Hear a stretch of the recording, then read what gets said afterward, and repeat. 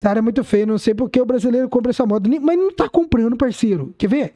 Gisele, Gisele Castro. É, parceira, desculpa, viu, Gisele? Mas eu vou te mostrar aqui, ó. Olha aqui. Isso aqui foi uma foto que o Tio Montanha me mandou nas parciais. Tá? Que, quer ver? Que dia que ele me mandou, velho? Foi sábado que ele me mandou. Acho que foi no dia. Foi na, na última atualização de sexta-feira. Olha aqui, ó. Dá uma olhada nisso aqui. Não tá vendendo. Por isso que os caras tá baixando o preço, ó. Olha aqui a Saara, ó. A Saara. A, a, a, a, Saara, ela tá inviável para muita gente. Aqui, ó, vocês estão vendo, XRE 300, 2.962 unidades. Isso aqui foi... Isso aqui é em tempo real, tá? Só que lembrem que no, é, no mês...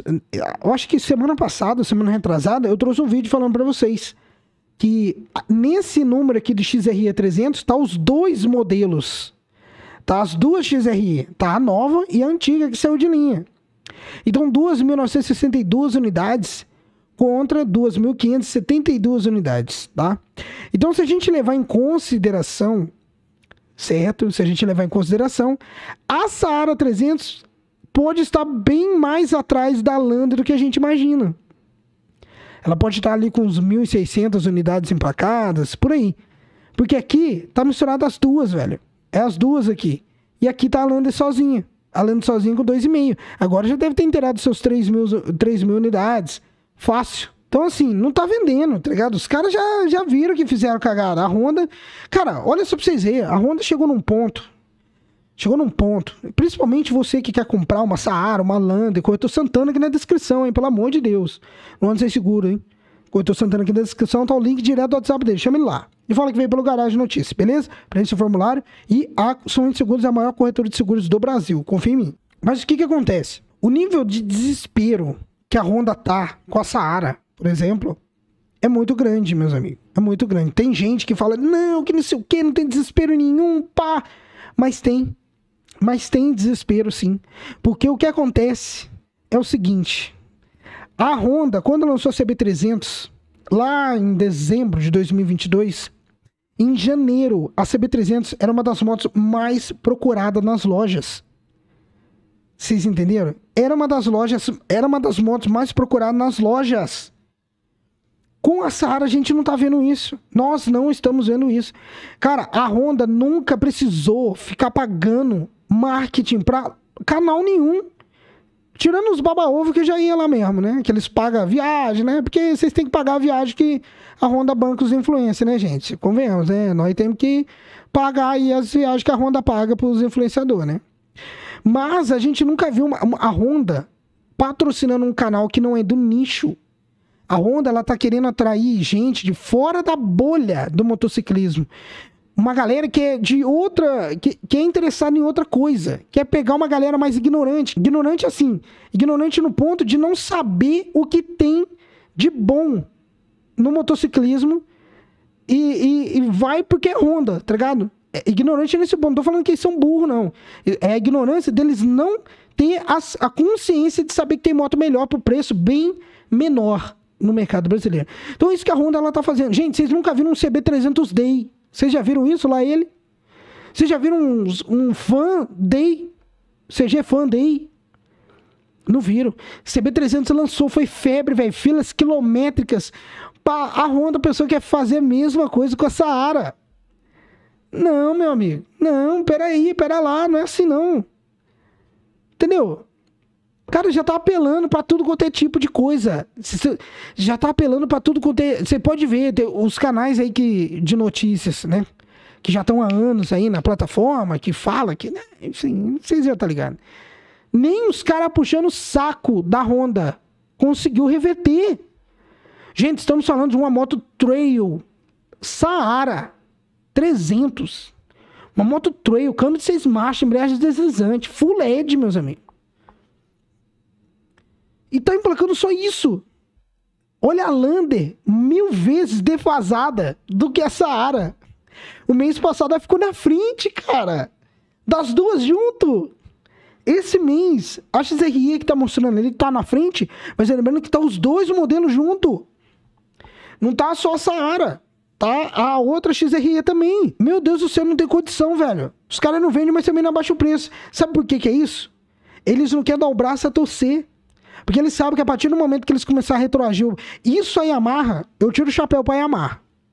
A Yamaha, ela sabe retrair na hora certa. Ela sabe avançar na hora certa. A Yamaha, assim, né? Avançar, mas retrair o preço, ela sabe. O que, que a Yamaha fez, meus amigos? Quando lançou a Saara, BMW lançou promoção Saara, em conjunto com seus, os seus concessionários, começou a baixar o preço nos grandes centros. Olha a FZ25, emplacando horrores, horrores.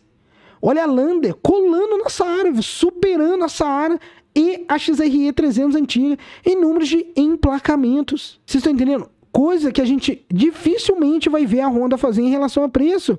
Porque o concessionário Honda ele já está acostumado com esse modus operandi. Ele sabe que uma hora vai entrar ali um dito cujo que vai pagar o preço que ele quer. Por isso que ele não é interessante para ele, né? Abaixar o, o valor. Beleza? passaram muito da linha do bom senso de valores com a Saara, principalmente porque o público-alvo é majoritariamente baixa renda. É verdade. É verdade. E concordo com você, a Saara é muito mais feia do que a XRE. é verdade também. Cara, mas isso aqui, o Silva falou tudo agora. Eles passaram muito do limite, velho. Passaram do limite. Entendeu? Por isso que a Lander tá engolindo. A estratégia da Yamaha com a Lander foi muito feliz nessa parte né? Só que ela tá muito cara, velho. Não tem condição. Como é que você compra uma moto, uma Saara, é, com todas as incertezas que vemos, né, no, no cenário político, social, econômico do nosso país, pagando 40 mil reais uma moto de, 40, de 24 cavalos. Né? E tem outros criadores de conteúdo que fala que não tem como comparar uma Dominar 400 com uma Saara, uma Saara, que não sei o que. Gente, a gente não tá comparando categoria que não. A gente tá comparando poder de compra, estrago monetário. O que, que você pode fazer com o mesmo valor, ou até com valor inferior. O que, que você pode comprar, o que, que você pode adquirir. Tem muita gente que tá indo na Saara, por exemplo, pagando 38 mil reais só porque a Saara anda na terra, velho. Cara, só porque ela é trail. A lavagem cerebral no brasileiro é tão forte, é tão pesada, que é só porque a moto é trail, os caras aceitam pagar 38 mil reais numa moto de 24 cavalos. Que se tivesse uma suspensão invertida ainda, com esse preço que tá chegando, você acha mesmo que não vale, que não dava pra eles colocar uma suspensão invertida nessa moto, gente? Pelo amor de Deus. Aí os caras falam, não, porque você tem que entender, não tem que entender nada, meu querido, tem que entender nada. Nada, não tá vendendo, não vai vender da forma que a CB300 vendeu, não vai. Pode ser que venda aí por uns dois, três meses, mas uma hora, ó, vai cair o hype. Já tá caindo.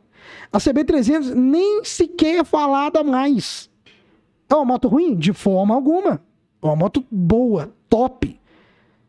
É mais atualizado que a FZ25? Com certeza. Mas esse mês, pelo que eu tô vendo aqui, corre um sério. Tem um sério risco de a FZ25 passar a CB300 em emplacamentos. Porque o povo tá ficando. Isso aqui mostra pra gente que o Honda é Honda, né? Pai. Não vai sustentar muito tempo. Vocês querem ver a Honda ficar desesperada quando o top 4 da Honda ali, que é Pop, Bros, Biz e CG, começar a diminuir número de vendas. Aí eles vão ficar desesperados. Porque dessa categoria para baixo ali é, é briga de facão entre Honda e Yamaha.